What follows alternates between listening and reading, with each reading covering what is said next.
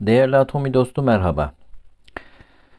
Eğer Android kullanıyor isen öncelikle Google Play Store'a gidip buradan Atomi yazıp uygulamaların hepsini yüklememiz çok yerinde bir alışkanlık olacak. Öncelikle resmi Atomi Mobil. Eğer İngilizce kullanıyorsanız Official Atomi Mobil uygulaması karşınıza çıkacak. Yüklemek için burada aç görünen yerde yükle yazacak onu biliyorsunuz.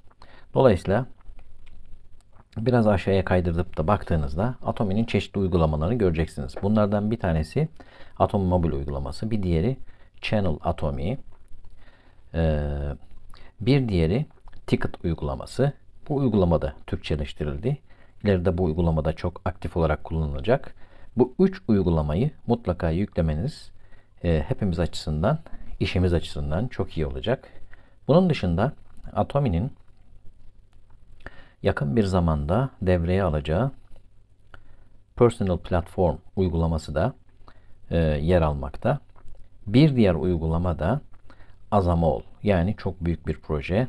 Azamol uygulaması da ne yapabilirsiniz? Yükleyebilirsiniz.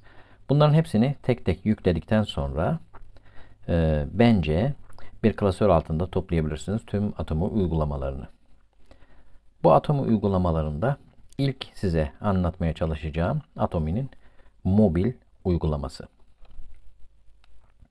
İlk yüklemede biraz sizi fazla bekletebilir. E, dolayısıyla lütfen bunu bekleyerek açınız ve ülkelere göre de yani hangi ülkede bulunuyorsanız yükleyen kişi hangi ülkede bulunuyorsa ya da cep telefonunda hangi dil kurulu ise o dil otomatik olarak seçilerek karşımıza geliyor. Bakın burada gördüğünüz gibi Türkçe geldi. Ee, ilk gelen ekran her zaman için kampanya bilgilerinin bulunduğu ya da şirketin bize özel olarak bilgilendirmek istediği reklamlar. Bunu ne yapabiliyorsunuz? Buradakileri mutlaka okumanızı tavsiye ediyorum her zaman. Ee, bugün tekrar bir daha göstermesini istemiyorsanız bugün tekrar göstermeyi seçiyorsunuz. Ya da ya da tamamen kapatmak istiyorsanız kapatı seçiyorsunuz. Burada gördüğümüz gibi üst bölgede bir üç çizgi. Buna hamburger menü deniyor. Hamburger menüyü tıkladığınız zaman burada ayar menüsüne gidebiliyorsunuz. Bakın müşteri hizmetleri, üye ol, çıkış ve ayar butonunu görüyorsunuz. Bu ayar butonunu tıkladığınız zaman burada birçok detayı yani ayar detaylarını bulabiliyorsunuz. Otomatik olarak girişin yapılmasını istiyorsanız bu 10 olarak seçiyorsunuz. Ana ayarlar bölümünde ilk açıldığında ana sayfaya mı, alışveriş sayfasına mı yoksa ofisim sayfasına mı gidip gitmemesini uygulamanın ayarlayabiliyorsunuz. Aynı zamanda bakın bölge ve dil seçenekleri var. Bölge ve dil seçeneklerinde buradan seçerek herhangi bir ülkeye gidip o ülkedeki ürünler hakkında bilgi alabilirsiniz. Tabii ki dili de dikkat etmek e, durumundasınız. Yani Amerika Birleşik Devletleri'ni seçtiğiniz zaman Türkçe olarak değil İngilizce olarak gelecektir. Yani ülkede bulunan dil seçeneklerine göre burada dilleri de ne yapabiliyoruz? Seçebiliyoruz. Anlık bilgilendirmelere her zaman için izin vermek iyidir. İyi olacağını düşünüyorum. Çünkü şirketin anlık olarak bilgilendirme yaptığında bunları görebileceksiniz. Bir de en altında güncelle diye bir bölüm var. Burada da uygulamanın son halinin yüklü olup olmadığını bakabiliyorsunuz.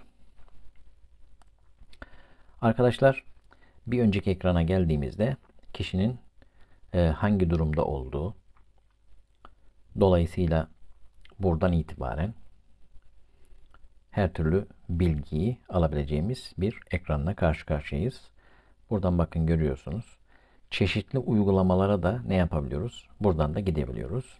ATG uygulamasına da ne yapabiliyoruz? Buradan gidip onu kullanabiliyoruz. Tabi burada uygulamaların ayrıca bir özellikleri var. Bu özelliklerini de daha sonra ileride anlatmaya çalışacağım. Ana sayfaya gidelim. Evet.